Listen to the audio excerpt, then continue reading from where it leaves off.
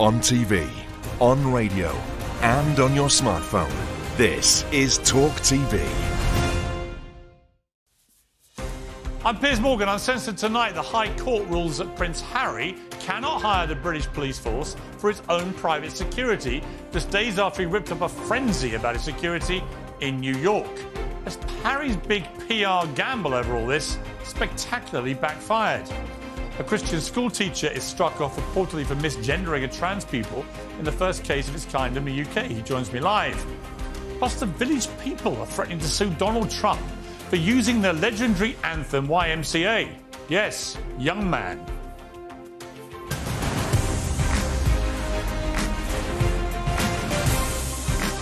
Live from the News Building in London, this is Piers Morgan Uncensored. Well, good evening, London. Welcome to Piers Morgan Uncensored. I was going to start tonight's show with a little monologue about Prince Harry whining again, being in court again, moaning about security again, the usual stuff. It's not uninteresting. He lost a big case today uh, in his ongoing battle with the British government over his right to have proper royal protection whenever he's in the United Kingdom. And he wants us, the British taxpayer, to pay for it. Or if that's not the case, he wants the right to pay for it himself. Well, that right today has been rejected. And we're going to come to that debate in a moment. But I can't get out of my head something I watched earlier.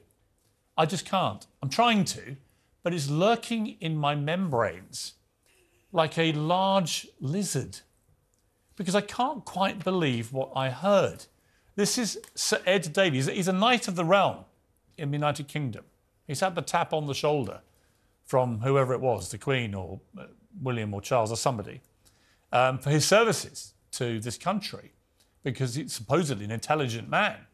And yet, on this morning with Nick Ferrari on LBC Radio, he was asked that whole question What's a woman? What do they look like? And this is what he said. Think about it and debate it with a bit more maturity and a bit more compassion. Well, that's what Sir Keir Starmer once said to me, and he never did answer the question can a woman have a penis? Well, I've just answered that question. They can. Um, listen, I've made it really clear that if people, um, uh, the vast majority of people, will have the same gender as their biological sex, but a small number won't. So a woman can have a penis? Well, quite clearly. What? Sorry? What, what do you mean? Quite clearly. Sir Ed, what, what are you talking about? Quite clearly, women can have penises. What are you talking about? You are the leader of a major national political party in this country.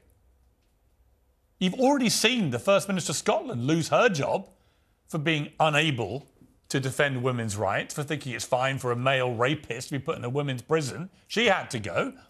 We've seen Sir Keir Starmer wriggling around. I mean, let's watch a bit of Keir Starmer trying to explain what a woman is. For 99 point, I don't know, 9% of women, everything is a matter of biology. For 99.9 something percent of women, um, it's all biological and it's very straightforward. And let me be clear for the for the vast majority of women, this is all about biology, and of course they don't have a penis. We all know that. I don't think we can conduct this debate with, you know. Sorry, have I, have I offended you in some No, no, no. It's just, uh, no, no, no. I just. A I woman can th- have a penis. I don't think that um, discussing this issue in this way helps. That's Sir Keir Starmer, another knight of the realm, knighted because he's a smart lawyer, intelligent man, also failing to explain simply what a woman is, which of course is just an adult human female. It's not a trick question. This ever used to be a controversial thing. And yet he can't answer. And now Sir Ed Davey has taken it to a new level altogether. Let's just replay what Ed Davey said again, just to really try and comprehend exactly what he's saying. I think we need to manage this and think about it and debate it with a bit more maturity and a bit more compassion. Well, that's what Sir Keir Starmer once said to me, and he never did answer the question can a woman have a penis? Well, I've just answered that question. They can. Um, listen, I've made it really clear that if people, um, uh, the vast majority of people, will have the same gender as their biological sex, but a small number won't. So a woman can have a penis. Well, quite clearly. It's unbelievable, isn't it? Isn't it? Or have I gone mad? It's unbelievable that in 2023, this is now something that political leaders are saying that women can have penises. They can't. Just a biological fact. It's not transphobic. It's not about trans rights. I absolutely believe that trans people should have rights to fairness and equality, like everybody else in life, regardless of any anything else. But you cannot deny biological scientific fact. And when two of the three major political parties in this country are run by men who are denying biological fact with these public statements, what does that say to women in this country? Who's defending their rights? Who is explaining what a woman is? Who's standing up for women? Who is just telling the country what a woman is? It's unbelievable. Anyway, rant over, but I have had that clip in my head all day and I can't get it out of my head. Thank God, Rishi Sunak, the Prime Minister, when I asked him that question at number 10 Downing Street, just simply replied, It's an adult human female. That's all that needs to be said.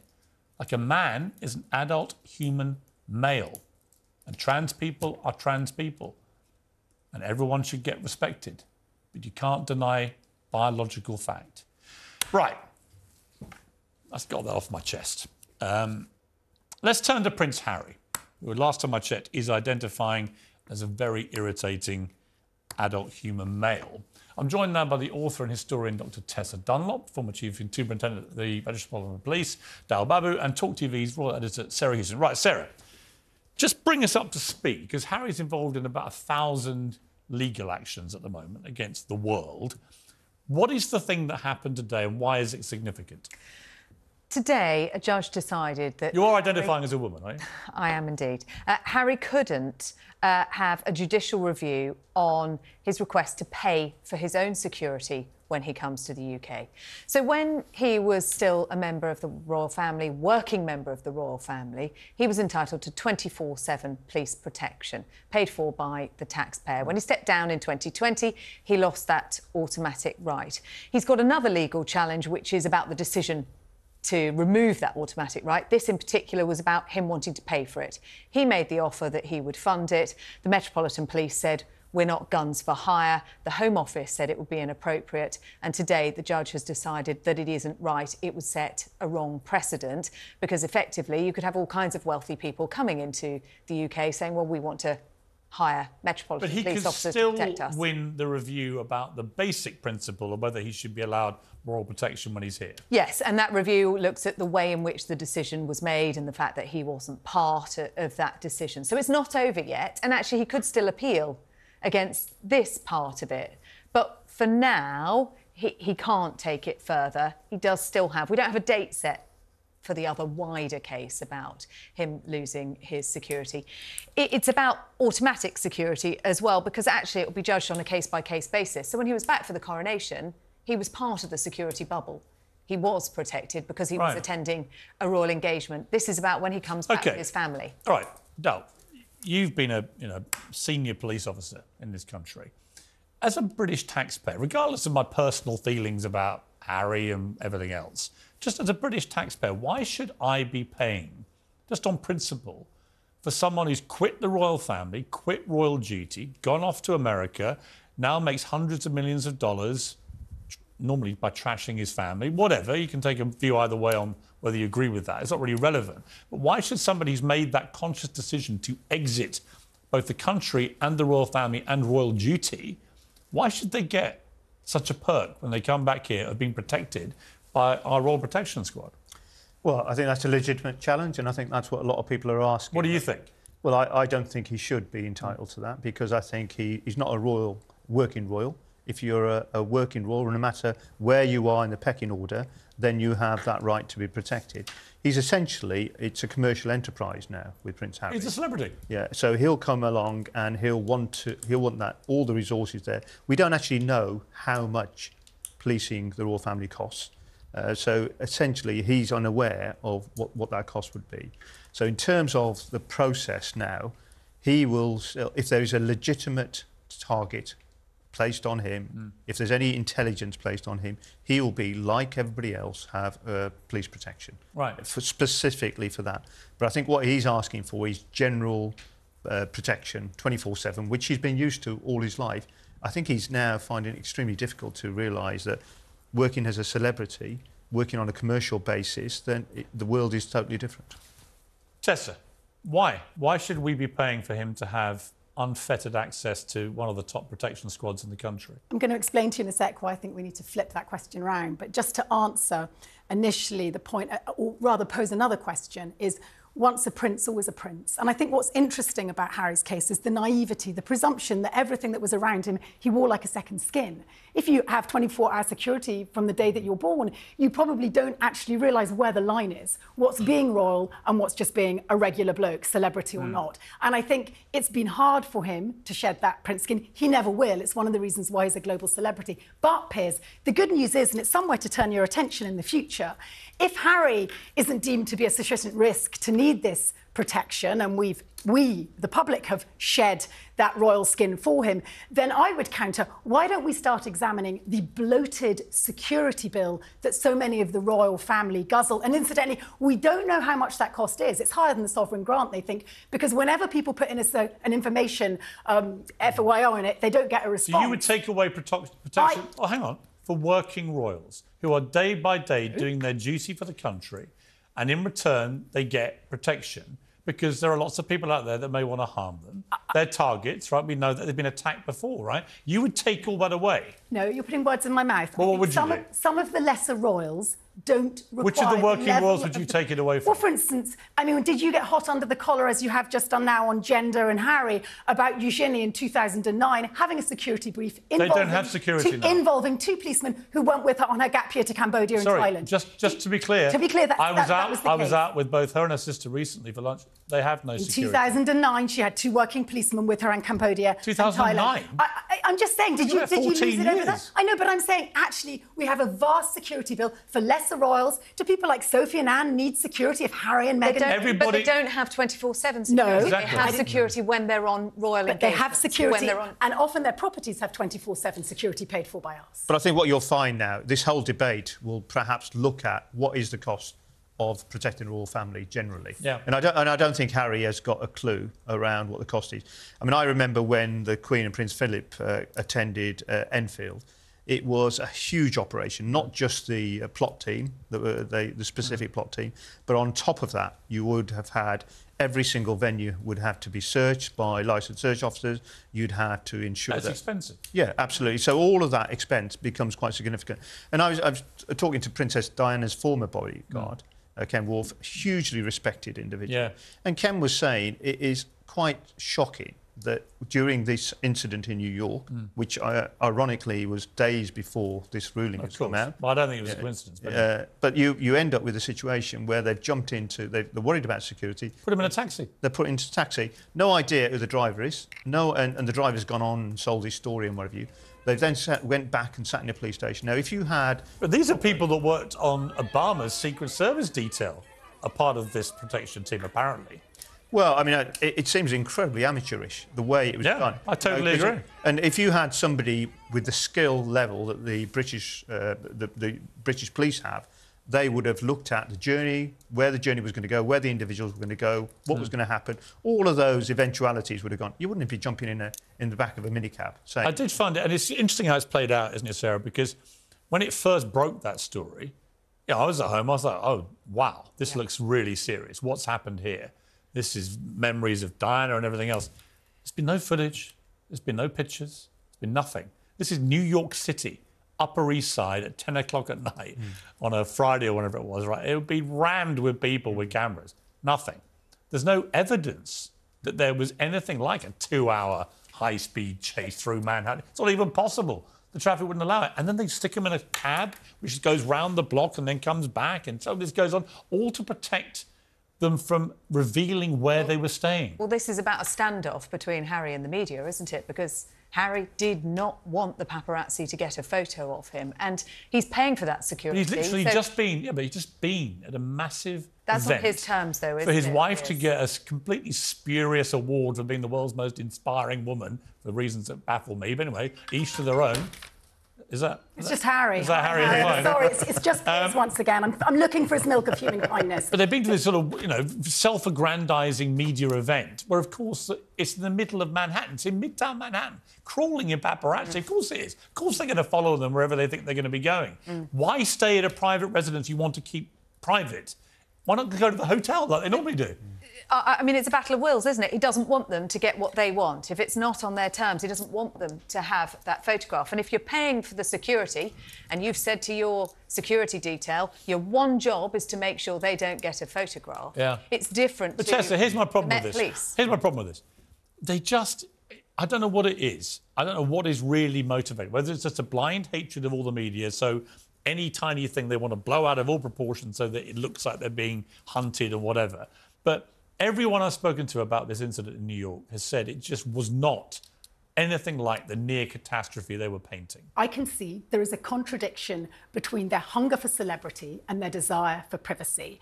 But, Piers, I'm asking of you Hmm. to try and find some sort of empathy. I know you weren't born a prince. I know you're a pauper done good. But the bottom line is that boy had everything, and it is far harder climbing down in life than it is climbing up. And he has bucket loads of anxiety to do with his childhood, to do with the way in which You know he what? You know what? Here's one- here's my so, it's difficult for them, and they're going to have to keep on here's my res- to pay for the Here security. is my honest response to that, right? He has brought all of this on himself. He hasn't, Piers, right? because of what he was He goes on like he's the only person to lose a parent, apart from anything else, right? I lost my father died when I was one. Right? William lost his mother at the same time Harry did. He doesn't behave like this. This guy's quit the country, quit royal duty, quit everything, gone to California, lives in a wonderful mansion, and he sells his family down the river for vast amounts of cash every chance he gets. I- I have no sympathy He's not at all. perfect, Piers, but he's naive and he was to the manor born. And you asked Dal, Harry every day will be working out how he pays for that gigantic security brief to keep his paranoia in check. How much does it cost? Be honest. To give someone like Eugenie or Anne or Sophie protection. How Well, well, much? the- the They- problem- they don't, they don't I mean, get it. we- We've we- already we- established that. yeah, They just get it. we have- they I get it mean- when they're on royal duty. Yeah, we haven't got the figures, but but I mean, I, I think the, the difficulty it is an enormous figure. I think the difficulty is with Harry. I don't think he understands how the world works in terms of how all that intelligence comes in, the briefings that Yeah. have to be done, and do you actually want somebody walking down the high street to protect you, uh, solving your burglaries, solving crime? Do you know what he wants? He wants to. He wants. I think he just wants to have his royal cake and eat it. It basically boils down to that. He wants to be like he tried to propose to the Queen, half in, half out. He wants the good stuff, the celebrity status, the money, the the trappings, the royal protection. He just want to put the shifts in. Uh, You know, in Cleethorpes on a wet Wednesday, going to going to an old people's home, and that's not the deal that the public has with the royal family. It's just not. The- The deal is they do all that stuff hundreds and hundreds of times a year, and in return, they get the trappings and they get the security and everything else. I mean, his argument would be, well, I was born a prince. I didn't choose the Hmm. way I was born. I am still a prince. Look at prime ministers. Former prime ministers still get their protection They in do. life should they choose it. Yeah. Uh, regardless of how long they yeah, serve. they do. He did serve. That's such a good point, Sarah. She's the winner. Nobody would ever question the service he gave his country, least of all me. So I- let's I- keep his protection when he's here. I wish that guy was still that guy. That's all I can say. My brother-in-law taught them at Sandhurst. William and Harry said he was a great little soldier. But do you know what? If he got his protection, he'd come over Why don't you more and ask- give you more stuff to Ask talk a about. hundred soldiers what they think of Harry at the moment. And what he's been Well, I mean, Harry, Harry he's been doing went, to he went out. He, he, he actually broke the code. He talked about going out there shooting. I mean, he, he Boasted made- about Come his- on, yes, loads of yes, S- it's killed. SIA but he's- guys but- have done that. Yeah, but he's, he's made himself more vulnerable. I agree. He's more of a. He's more. He's, he's not. He's not particularly bright. I think. No, he's when not. you go out there, you think all the people that would perhaps want to do him harm. He wanted to add to that and says, "Look, I've killed 11." Absolutely right. It was just. Kind I don't think. easy. I think there's too much wacky backy in California, unfortunately. But that's just an allegation, unsubstantiated, apart from regular confessions in his book. Thank you to my star panel, much appreciated. Uncensored next, a Christian teacher is banned from the profession for using the wrong pronouns for transgender people. It's the first case of its kind in the UK, and he joins me live after the break.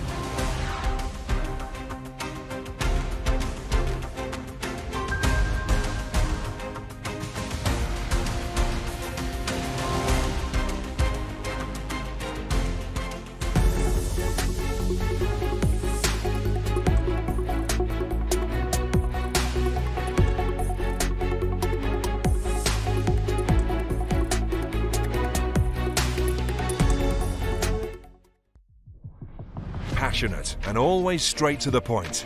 World class broadcaster Vanessa Feltz is on Talk TV every night of the week. From politics to pop culture, there's no subject she shies away from. And remember, If you're thinking about it, we're talking about it. join Vanessa Feltz on Talk TV every day from 4 pm.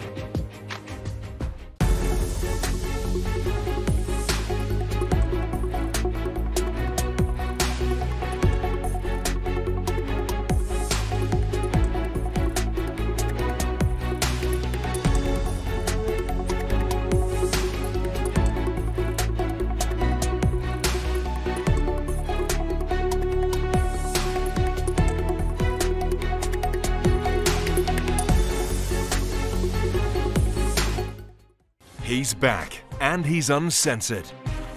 Debating the breaking news and talking to the biggest names. Piers Morgan is live every week with a host of stars. Uncompromising, unmissable, and uncensored.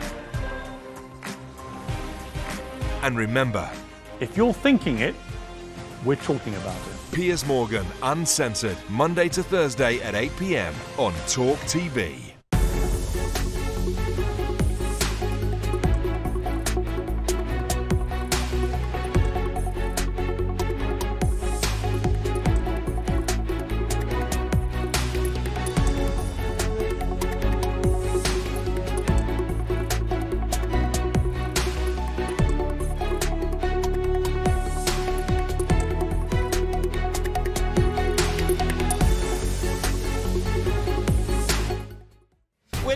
Britain's conversation. Oh no. Uh, with the People's Channel. No, already used. Uh, Every Little Helps. For God's sake, is nothing original anymore. It's finger licking good. I'm loving it. Look, let's be honest. We don't have any fancy speechwriters here, but we do. And I promise you, discuss the issues that matter to you. Yes, I'm back. Talk TV, not with Morgan, just before him. Monday to Thursday at 7 pm. Join me. Just do it. Well, that one too.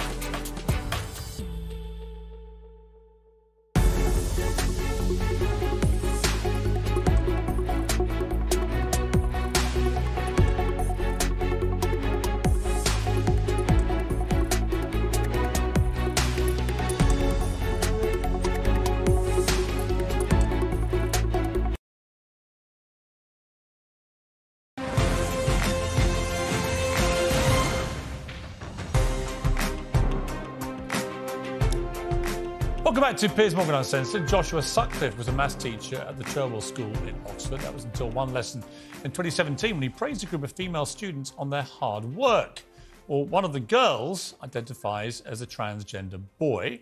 And this week, in the first case of its kind in the UK, Joshua Sutcliffe was banned from every classroom in England for not using the pupils' preferred pronouns. Mr. Sutcliffe said he apologised immediately and is being persecuted because of his Christian beliefs. And he joins me now.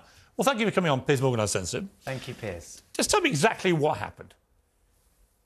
Um, well, it, it was the TRA um, hearing um, in recent months, and the principal reason that they uh, banned me from every classroom in the UK, as you mentioned, um, was for refusing to use the pronouns um, that a particular student wanted to. So, what did you actually say? You called the group girls? Yeah, it was two, two girls at the front of the class, and uh, one of them identified as a boy. Um, and I agree with the policy exchange report recently released by the government, where uh, it says that you know um, we're letting down a generation of young people, affirming them in these um, you know dispositions. Um, you know, in the UK, uh, you need a gender rec- recognition certificate um, and that is post 18. And so um, it really is a serious um, issue and it's affecting schools across the nation. And so I mean, we're seeing a lot of kids now identifying as something other than their biological sex. What do you think of that phenomenon? Well, I think it's um, really something our society t- should be taking much more seriously. Um, you know, it's a path, you, these students go down a path of taking very strong drugs and surgery, and um, it's something that shouldn't be so quickly brought into classrooms across the country. And it's happening uh, everywhere, as, as you've seen in the news reports, not just for me, but for other teachers. So you called these two students girls. One of them was a transgender boy by her own or his own definition, whichever you want to say it, right? This is at a time, this is, you know, five, six years ago when this issue wasn't anywhere near as prevalent as it is now. Did you realize immediately this might be a problem? Uh, I, well, I wasn't really um, savvy. I didn't know about the issue as we've come to know Yeah. about it. And, um, you know, but at the time, with my Christian convictions, I, I thought it an appropriate stance to, um, you know, uh, just use the student's name. And what happened to you? Um, well, I mean, the school sort of took uh, a case against me, and it's ended out all the way at the. What were you Depart- accused of doing? Of being? accused of using the wrong pronouns. Uh, Literally? literally, yeah. Accused of using the wrong pronouns. And that was actually the principal reason that the Department of Education used against me, um, that I refused to use the pronouns. So, really quite a shocking and sad day for myself personally, but even for England, uh, you know. I mean, the argument that was put forward against you was that you should treat all pupils with dignity and respect, and if they're identifying in a different way, then you should feel mandated to do that. Well, I think the safeguarding of the pupil is paramount in this situation. And if you affirm these students in their um, gender identity, then that could lead them down a path um, that maybe one day they will regret. regret. And you know, maybe it's something that we th- should think about, um, you know, leaving for adults to decide rather than uh, such young students um, going down this path. See, on, on this, I'm kind of, you know, I'm kind of sympathetic to, to what you're saying about that issue, that the pronoun misgendering and so on, with so many kids now following what I think in most cases is just a fad. Why should people have to change their language to accommodate what seems to be just a fad? The complication, I think, in your case is that you have very strong Christian beliefs, or I would say beliefs that pertain to your religion. Would you accept that? I accept that, Pierce, yeah. So you have uh, four abominations on your website, for example. Yes. Um, abortion, homosexuality, porn, and Islam. Yes. You call them abominations. Yes. Is it right? Well, I mean, when I read that, I was like, hang on. Is it right that any teacher should be teaching kids if they call those four things abominations? Well, you understand, Pierce, those things happened outside of the classroom. You know, that's my own personal. I understand that. Yeah. I understand that. Um, but in one, in one case, it was cited that you had, for example, on the issue of gay marriage, you'd said to kids in the class that it should be between a man and woman. Yeah, um, a student asked me about my conviction, and, and that was what I said that it should marriage should be between a man and a woman. But um, you know, the Bible very clearly um, describes many things as sinful and as not good things for us. And uh, Well, the Bible, Bible also tells you to stone people for various offences, and we don't do that anymore. I mean, the point is, well, we all deserve. I mean, look, I'm a um, Catholic, a but, but I wouldn't I wouldn't use language like these are all abominations, Mm. um, particularly when a lot of people in this country are now gay. Obviously, you think that that's abominable. Yes. Um, and that's fine. That's your it's your prerogative to have that opinion. Mm. But there will be people who think, well, hang on, this these are pretty hardcore views of someone who wants to teach young children. I understand that people might disagree with me, Pierce, but um, I'm, that's a pretty orthodox Christian view to think that these things are sinful and not um, good. I don't know any Christians who say Islam is an abomination.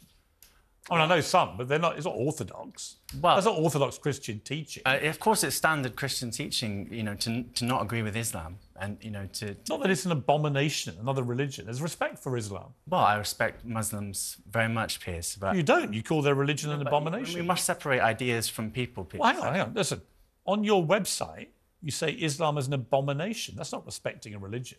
Well, it's the opposite of respecting a religion. No, I, I disagree very much with Islam, Pierce. That's fine. It's entirely your prerogative. I'm just saying that if you want to be a teacher, is it compatible with being a teacher to have a personal website which lists a series of abominations, including the right to be gay, the right to have an abortion, legal pornography, Islam, another massive religion with one and a half billion people? It, it just seems to me if I was a if I was a parent at that school and I read that on your website, I would be concerned. Well, I think it's up to parents to look these things up if they want to, but all parents that I've um, had interactions with would say that I'm a very respectable man and I'm always uh, did the job at hand. But um, I think in our free society, you'd think that I'd be able to share those things outside the classroom. You now go into the street and you you talk. Let's watch a little clip of what you do. that there is one way into heaven. His name is Jesus Christ. This is an urgent plea with your spirit, man. I'm not just talking to your minds. I'm talking to your spirit, to your heart, that you might be awoken from the death of this generation, that you might be shaken out of the depths of darkness and into the glorious light of the kingdom of God. I mean, again, I'm not sure I'd feel that comfortable about having a teacher of my young kid who's out there doing that every weekend. Um, you know, it's pretty orthodox Christian beliefs that I'm. It's fine, but you're a teacher out there basically ranting away on the street. It doesn't. It wouldn't lend itself to most parents to think that that is entirely compatible with teaching kids. Well, you'd have to see me in the classroom, Piers. I'm a, I'm a good practitioner. when were you last in a classroom? If, well, uh, three or four years ago now. Do you want to teach again? I'd love to teach again. I enjoy teaching. My dad's a teacher, and I've. You know, What does your dad make of all this? He, su- he supports me. Yeah. He, I mean, he, yeah. Does he agree with all your views? Um, well, he's a, he's a Christian himself, Piers. He was an RE. Yeah. He was an RE teacher for for um, 30 years. But does he agree that all these things are abominations? For Well, Piers, this is biblical teaching. It's not. It shouldn't be a surprise to you or anyone else that. No, but like I said, the Bible also teaches people to stone people to death, but we Well, don't do that Well, in uh, that's the civilized that- places that- anymore. That's the penalty for sin, Piers. But Jesus. So for adultery, you would. Jesus died on the well, just to clarify then. He- for adultery, you think it's right to stone people to death, I think that as they do in all- Saudi Arabia, for example. Do you? all sin deserves the death penalty, and Jesus. So adultery is a sin. Let me finish, please. Well, hang on, hang on. Is adultery a sin? It's an important point. Is adultery a sin? Jesus died on the cross for sinners. He took, it- he took the place. Joshua, is adultery a sin? Yes. So you want to execute everyone who's committed adultery? All sin, all 613 Do you- do you? commandments, all sin is is punishable by death. Right. Joshua, that's nuts, mate. and that's what the Bible. And that's the problem. You see, Piers. you start off, you had me at the start. you had me about the pronoun issue because I think it's incredibly complicated. And I don't see, I also have a big concern about number of kids who are basically putting their hands up saying, I'm a woman, I, I'm a girl, I'm a boy when they're not, uh, and so on. Um, but this stuff is nuts, mate. If you're going to say that everyone who's a sinner by the rule of the Bible has to be killed, there's no one left. Deserves the ju- There's only you, there's only you left, and I don't feel comfortable about I'm a world not- I'm with only Josh, means. Joshua Sutcliffe alive. And don't be silly. I am the worst of sinners, Piers. Well, why are you still alive? Because Christ has died for sinners. He, Huh? he took the place. Yeah, but by your yardstick, you should be executed. Yes, I should be. Who by? God, He's the judge of all. No, but you're gonna. I mean, you're gonna uh, go and submit yourself for execution, or No, but Jesus is. It's called penal substitution. Huh? It's called. It's a. It's a. It's a theological point. it's Joshua. It's not. It- it's the substitution of Christ for sinners, Piers. Joshua. It's nuts. I, I, And I'm sorry that unfortunately, you feel that when you talk that way, it disqualifies you in my eyes from being a teacher. Not the pronoun stuff. On that, I'm with you. On this stuff, it's nuts. But we're, we should be in a free society, Piers. Totally. And you're, by the way, allowed to have as many nutty views as you like. I just don't think. nutty in your opinion. I think your opinion No, is nutty. in 99% of the entire planet, your views are nutty. In your world, maybe, but not. People in the don't think at that everyone who commits adultery should be executed tomorrow. No, uh, this is what the Bible teaches. Greed, gluttony, all those oh, things. i- i- sin is sin. So anyone's Piers. And we greedy gets executed. short. Anyone who's gluttonous gets executed. Christ- Have too many donuts. place. Joshua Sutcliffe says you wheeled off to the This is what the Bible teaches. to be put to death. And, and this and this isn't really being taught in our generation. no, there's a reason it's not taught in our generation. But Christ Because is the perfect sacrifice for sin. Yes, I know Jesus Christ did sacrifice himself, but you don't think Jesus Christ will be sitting here today at my desk saying every single person who commits an act of greed or gluttony or adultery should be summarily executed. We'll- if we'll you do think that, if you do think that, you have a very warped idea of Well, what I- actually I- the Bible is supposed to mean. No, I think what's happened is you've got your own view of what the Bible says, but you haven't really ever been told what the Bible says. I've read the Bible.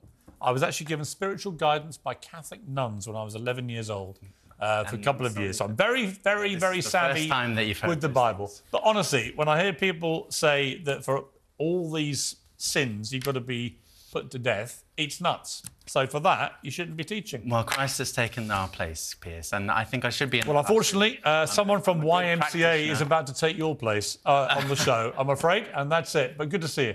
All Thank right. you, Joshua Sutcliffe. Uncensored next, the village people are taking on Donald Trump over his unauthorised use of their iconic anthems. A village person will debate that with me live if he hasn't sinned too much in the break.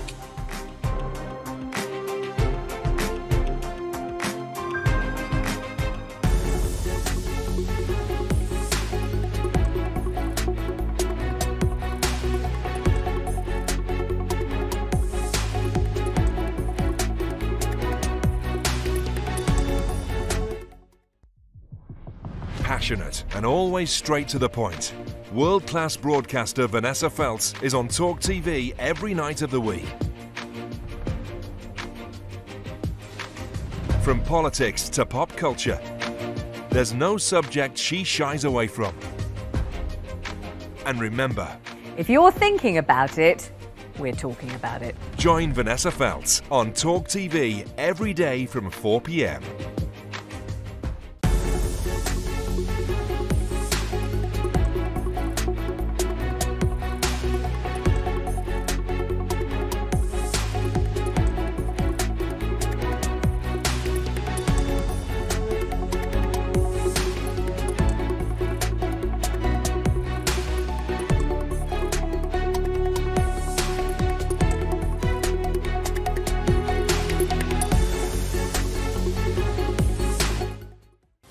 back and he's uncensored. Debating the breaking news and talking to the biggest names. Piers Morgan is live every week with a host of stars. Uncompromising, unmissable, and uncensored. And remember, if you're thinking it, we're talking about it. Piers Morgan Uncensored, Monday to Thursday at 8 pm on Talk TV.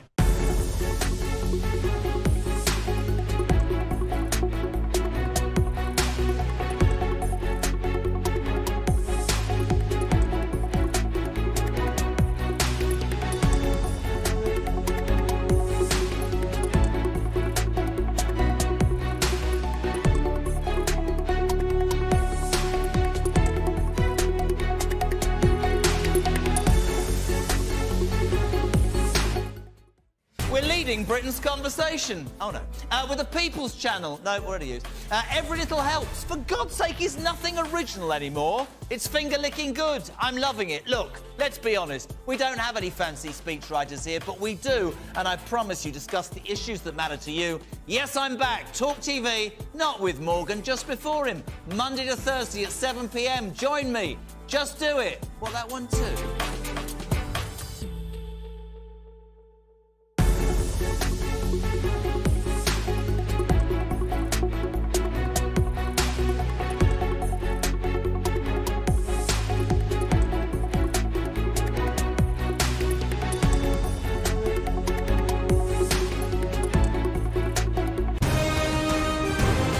This is Talk TV.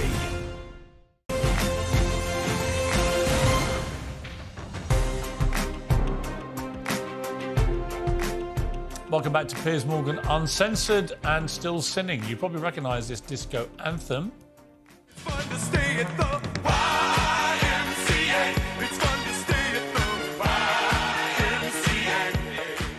Well, YMCA by the Village People has been the soundtrack of weddings, bar mitzvahs, and pretty much every drunken night I had as a teenager. More recently, it's become the unlikely soundtrack of Donald Trump's rallies in America. I said, young man, pick yourself off the ground. I said,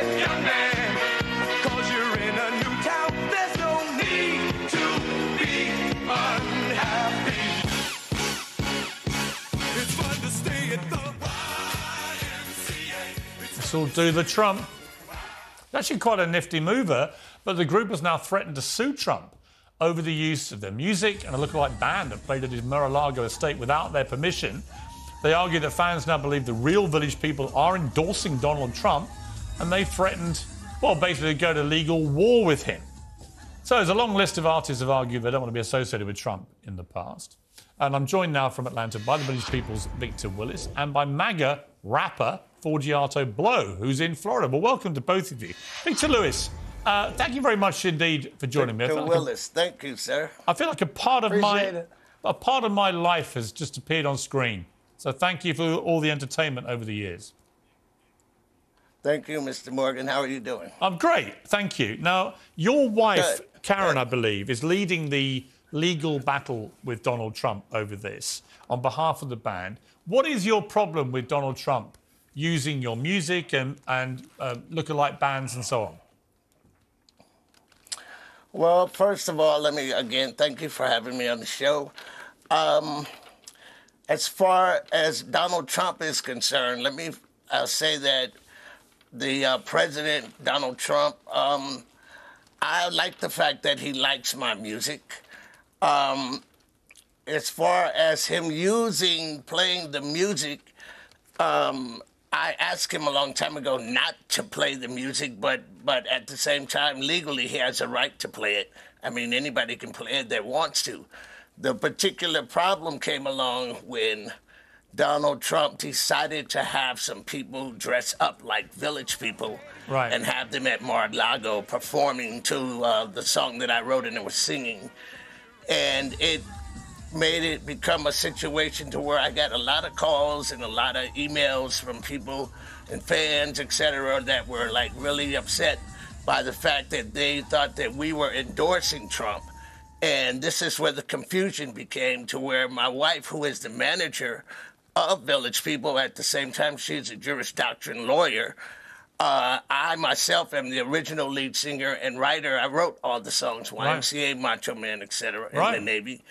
And um, we were uh, bombarded by a lot of fans that were were upset by the fact that they thought that the people that were performing at Mar-a-Lago were actually the village people. I got it. You know, whereas village people, we're not, we're, uh, we, we stay out of politics. We're not a political group. We do not, we wouldn't endorse Trump and we wouldn't endorse a Democrat. Okay, we got wouldn't it. endorse okay. anybody. We stay right. out of that. I got it, Victor. Let me go to Forgiato Blow. So this is not really an anti-Republican thing, Forgiato. This is basically a we want to stay out of politics altogether thing. Shouldn't that be respected? If, if Village People, one of the great bands in the world, who've entertained the world, if they just want to say, look, we don't want to get political at all, shouldn't they have that right? No, I don't think in the world right now. I mean, we have a platform and we're teaching, you know, the new generation, which Trump is also putting on their song. Um, I understand that they don't want to be political, but I don't see it's a problem. I mean, there's five to eight year old girls around the world dressed up like their favorite princess singing Frozen. Are we going to stop them from doing that every single day? I don't see what the problem is. I just feel like it's an attack on Trump. Anything Trump does, people say, you know, Trump is above the law. He's not. He's under the law. They go at Trump for everything. Um, so I just think it's an issue. I don't think that's a problem. I think he's All right, well, let me ask you a song question. get bigger. I, All right, Forgiato, what, what's been your biggest hit? Uh, my Uh, my biggest song biggest- isn't actually a MAGA song. It's called Vanilla Sprite with Rick Ross and Vanilla Ice. Uh, but four more years, probably my biggest song. But if Joe Okay. Biden or BLM or any type Yeah. of organization wanted to play my music, I really wouldn't care. I'd, I'd So be that for was going to be my question. So you you wouldn't mind if Joe Biden did that at his rallies, your song? No, because Trump's not being negative playing it. He's got to dance. He's making everybody in America, especially this America we're living in right now, happy again. You know, making America he's only Trump making again. those who support I mean, support him Trump's happy not doing again. it negative. He's he's being happy. He's not. I, I could see if he was being disrespectful let- to them. They know they're legends. Okay, let me bring. They put All a lot right, of let me let me bring Victor. See, let- let me- bring let me Victor back in. here, please, sir. Victor, but come back in, Victor. Yeah. Let me interject here. Thank you, sir. Number one, uh, young man, you have a misconception of what I just said. I said we do not mind Donald Trump playing the music because we don't care who plays the music. He has the right to play the music as much as he wants. That has nothing to do with the particular situation. Uh, we would not we would not be saying anything. As a matter of fact, YMCA, with him playing the music, went all the way back up to number two on the Billboard, something that I wrote over 40 years ago. So it is not a, a problem with him playing the music. Matter of fact, it helped us as a group. The situation became to where we had to put the cease and desist out when he had people dress up in our costumes and perform at Mar-a-Lago, which gave a lot of the fans the impression that it was us as village people endorsing him as uh, a political but- uh, idea. Okay, let me bring in Forgiato to respond to that. I don't think nobody thought the endorsement was going to make a difference in what's going to happen in this election. I feel like uh, karaoke is not illegal. People dress up on Halloween. We're going to stop. We're going to cancel Halloween. People, I mean, they're they their group. They're dressed up. He's sitting as a police officer. You got construction. Was he the first police officer ever to be a police officer? Was there the first construction? Uh, well, you know workers something. ever to be I have a confession. workers? You're I- it. yes, we Uh, were. chaps, I have a I have a confession to make. I actually went. You as were the first police Well, hang on, let me finish. I actually went as Donald Trump. Yes, to a I was, to do Guy- what I guys, do. Sorry, I, I'm I'm running this interview. I actually went dressed as Donald Trump to a Beverly Hills Halloween party, so I didn't get his permission. So I'm kind of sympathetic to that. But did you Forgiato, get actually. sued? Did you get a Did you get a cease and desist about it? I bet Not Trump yet, loved it. not yet. Trump, I've, I've met, a lot. Trump gets a lot of hate from people who don't know physically met Trump. Trump's a nice guy, great guy. I've never seen nothing negative in person about him. I just feel like. It's, they have a great song. They have a great music. Okay, Us let me end on Patriots a, let me end on a happy We love note. Macho Man. We let love me their end on music. a, okay, let me end on a happy note. Victor, how much money have you made from? Yes, sir. How much money have you made from YMCA? Well, I've sold over 100 million records over the years. Wow. Um, so I can't. So I. I mean, I'm, you know, I've sold quite a few records, etc. Again, it was it was the fact that. No, we get it. um, We get it. It was the the, it was the fans. yeah. The I- I think- fans are the ones that approach that started bombarding me with the fact of of seeing uh, pe- the, somebody dressed as village people. But you know And, what? I You know mean, what, Victor? Maybe they didn't pay. You know what, Victor? Here's the thing. They were doing it as a tribute to you. I mean, there's actually a different way of looking at it, as Forgiato says, which is it's kind of flattering, isn't it? I mean, there must be village people tribute acts all over the world. You can't go around suing Well, them. you know, if they if they had announced it that that you know there are several tri- tribute groups that that perform. I mean, you know, if it was announced that here's a tribute group to the village people performing Macho Man or whatever, it would be nothing to say. I got it. I mean, I got know, it. So I'm. be a I think we compliment. should. That would be a compliment. I think we're going to clarify to. We'll clarify to President Trump if he introduces them as a tribute act, it's fine. But if he tries and passes them off as the real thing, there can only be one, one village people, and only one Victor Victor Willis. And what an amazing star you've been, and the happiness you brought to people of my generation and many more, but particularly mine because my teenage years lit up with your music, Victor. It's a pleasure to have you on the programme.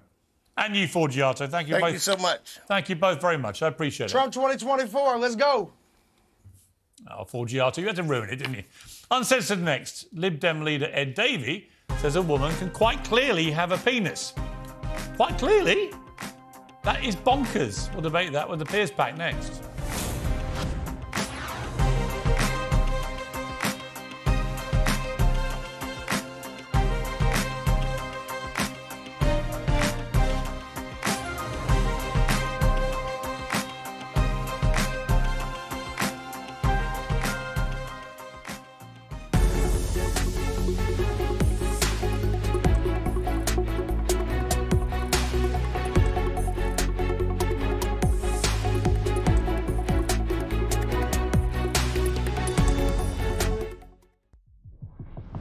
Passionate and always straight to the point.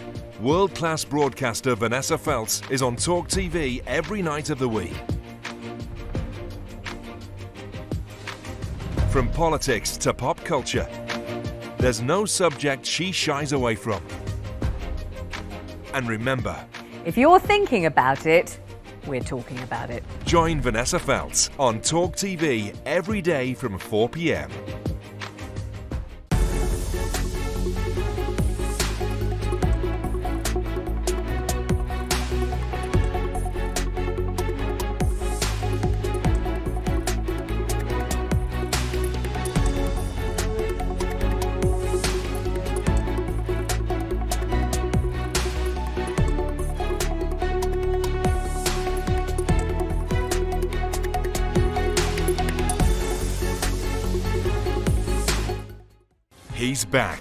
he's uncensored. Debating the breaking news and talking to the biggest names. Piers Morgan is live every week with a host of stars. Uncompromising, unmissable, and uncensored.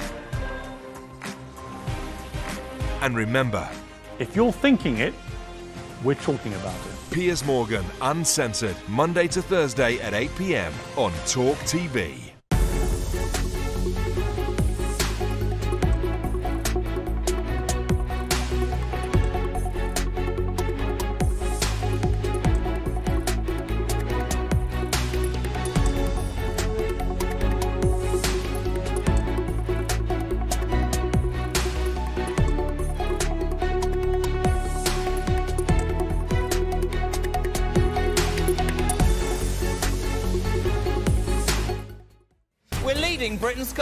Conversation. Oh no. Uh, with the People's Channel. No, already used. Uh, Every Little Helps. For God's sake, is nothing original anymore. It's finger licking good. I'm loving it. Look, let's be honest. We don't have any fancy speechwriters here, but we do. And I promise you, discuss the issues that matter to you. Yes, I'm back. Talk TV, not with Morgan, just before him.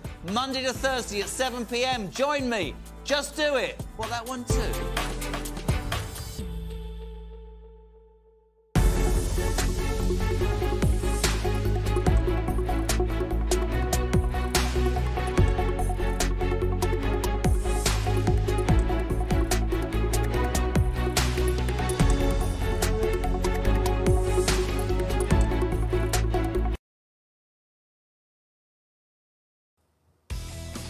Coming up on the talk, eco zealots bring chaos to the capital with more slow marches before police put an irate driver in handcuffs.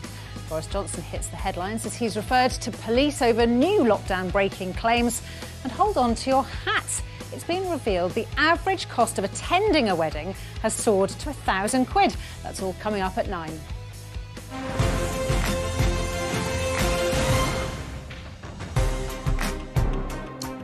Welcome back to Piers Morgan Uncensored. I'm joined by the political journalist Ava Tina and Talk TV presenter Richard Tice. Right. Have you sinned, either of you? Every day, Today? Piers, I mean, every day, come Where do we even start with you, Tice? Actually, and you. Uh, and me. And you. We're all doomed. We're all doomed. What did you make of that interview? I mean, I grew up in a Catholic household. Yeah, I did. And I don't know anyone who acts that fundamental about anything. And you know, when I read the headline this morning and we heard about, Yeah. you know, him and you feel instinctively quite sympathetic, I think. Most, well, you wouldn't, obviously, because you're No, but, as hell. no, okay, well, I read it and I knew immediately there's got to be so much more to this. There's no way he's just, you know, Yeah. slightly mispronounced. And there is a lot more to it. Yeah. The more the more I spoke to him and got out of him, the more extreme his views became, right? Um, I mean, it, the reality is on the pronouns thing, he's right. Yeah. Well- you know, it's just it just that is not the right way to be uh, teaching and addressing Mm. people in schools. There's no question. Do you at mean all. using the wrong pronouns? Is No, the right way using- Yeah, but when you've got 10% of kids now in some schools identifying as something other than their biological that's a sex, farce, at that point, it is ridiculous to No, expect teachers to even try and keep up with this madness, right? but it- it's but insane. It's a it's fad. insane. It's a fad. absolutely It's like 10 of them are doing it, I'm going to do it. It's honestly. Yeah. But that doesn't matter. You don't believe for a moment that 10% of students in this country have dysphoria, do you? you I don't. do think that transphobia is where homophobia was about 10 years ago, No, maybe no, 20 it's years ago. issue- I it's do. an issue of I do, safeguarding. and I think that people. It's, it's, It's not unnecessarily causing anxiety. We're not actually to talking about children trans. who It's not a should be- These aren't actually. safeguarding tra- issue. These aren't It actually. is a safeguarding It's not issue. a 'cause- pronoun issue. That pronouns aren't a safeguarding issue. I understand if a child might be going off to seek some sort of therapy, and you need to let the parents know. I understand that. Encouraging But the discussion of gender questioning asking, in primary Uh, school. by the way, and do you know do you know why trans people are having to put up with extra mockery? And I feel very strongly about this. That pr- proper trans people who are not just doing it for a fad, but genuinely believe they're trapped in the wrong body. Many of them have surgery and so on. I know people who've been through this. It's an incredible ordeal they go through. When they hear a leader of a political party like Sir Ed Davey of the Liberal Democrats saying this, this is what causes the problems. We need to manage this and think about it and debate it with a bit more maturity and a bit more compassion. Well, that's what Sir Keir Starmer once said to me, and he never did answer the question can a woman have a penis? Well, I've just answered that question. They can. Um, listen, I've made it really clear that if people, um, uh, the vast majority of people will have the same gender as their biological sex, but a small number won't. So a woman can have a penis? Well, quite clearly. Gave a perfectly good answer there. Oh, quite clearly, women can answer. have penises. I think you can. You ask a reductive question and you get a reductive answer. Quite I mean, clearly, yeah- women It's a biological penises. question which demands a biological answer, and he's completely wrong, and he Well, wants if to be it's- the leader of the country. It's absurd. No, you don't believe women have penises. I do believe that some trans women can have penises. Not trans I women, do. women. No, come on, don't be so reductive with that question. It's not because, reductive. Because It's if a- I answer that This question, is why. This is why women's sport is being destroyed. No, it's not. because people will not distinguish between trans women and women. Okay, right. Well, you look. cannot damage biology. You cannot deny biology. You just can't do it. And political leaders say clearly women have penises. You know what happens? Trans people, real trans people, they get mocked and they get vilified for it. What, what That's what increases definition of a real transphobia. trans person? Perhaps Ed People who genuinely is, No, do feel they're trapped in the wrong body. Perhaps Ed Davey is referring to real trans people who feel they are trapped in the wrong body. But That's are who he's talking person. about. They're I not mean, a woman, l- Ava. Listen, it's, the it's same. biologically impossible. Why, why, as a woman, are you not keen to protect women's rights to be women? I don't think it affects my rights whatsoever. What does It affect does. what does affect my rights is You've that got male country, rapists being put in female prisons. Hang on, Piers. You've got male sprinters and swimmers And and, cyclists destroying biological females at sport. What more evidence do you need? Piers, none of that is a threat to me. Do you know what is a threat to me? The fact that I can't walk home at night safely. The fact that I know that one of rapes reported go to conviction. Different issue. This it's not a different, Different issue. because you're arguing that men are dangerous and they shouldn't be in women's spaces. That's what I right. agree with. I've got no problem with coming with you on that journey to make places safer for women. You don't make places safer for women by allowing male rapists into women's prisons because they go, ta-da, I'm a woman.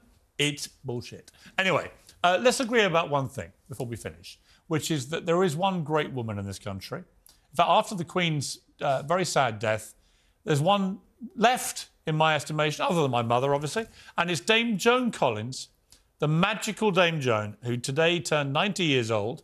Probably won't thank me for reminding her, uh, but she looks about 50, looks certainly younger than me. Happy birthday, Dame Joan. You are a proper woman, and we salute you on this show.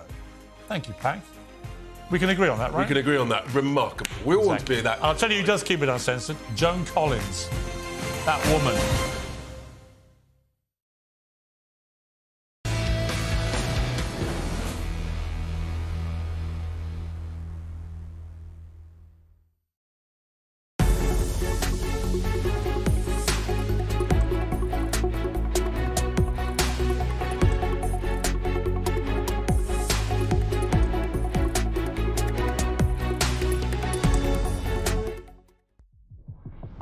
Passionate and always straight to the point.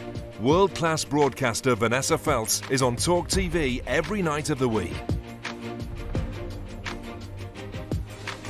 From politics to pop culture, there's no subject she shies away from. And remember, If you're thinking about it, we're talking about it. join Vanessa Feltz on Talk TV every day from 4 p.m.